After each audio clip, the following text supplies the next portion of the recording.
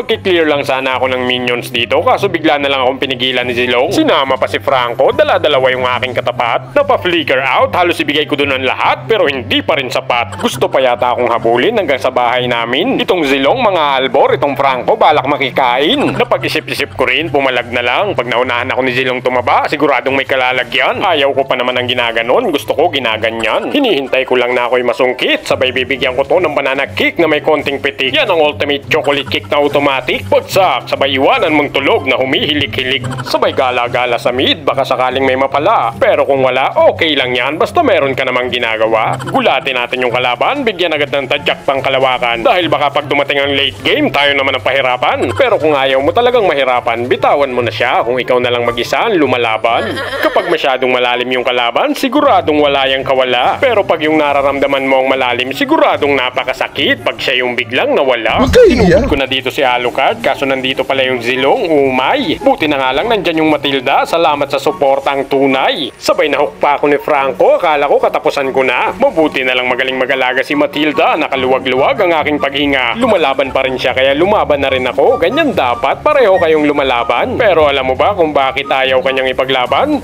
Dahil mukha ka raw kalaban. Si Talukard galit na galit, gusto manakit, ayaw akong pauwiin. Hindi ako tinitigilan, balak yata akong chap-chapin. Mabuti na nga lang may ultimate ako. Natikman niya tuloy ang tadyak dahil pungatan combo number 2. Nag-split push yung zilong, kaya kaming tatlo nakabang na kagad. Meron nang ang flying kick, tapos yung Matilda lumilipad. Wala nang intro-intro, ultimate na agad. Hindi na umabot yung kasama naming alien, napakabagal maglakad. Pinagtutulungan ng mga kasama ko si Franco sa pwesto niya, hindi na nakalis. Makikisali din ako para kahit papano may konting assist. Yung kasama namin ditong alien ayaw magpapigil. Aba gusto yata bumawi, naka triple kill. Kaya dito binasag na namin yung mid nila. Mas malalaki yung minions, mas masaya.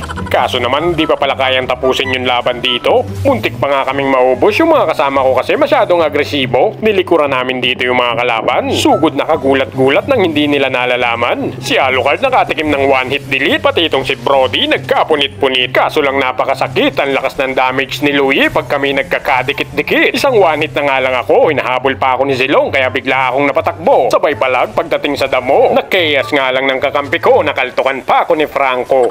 Pero okay lang yan, naubos naman yung mga kalaban. Kahit hindi na kayo mag-sorry, patatawarin ko na lang. Ang importante ay mahalaga, kaya huwag ka na malungkot kung sad ka. Basta gawin mo lang kung saan ka happy dahil doon ka sasaya.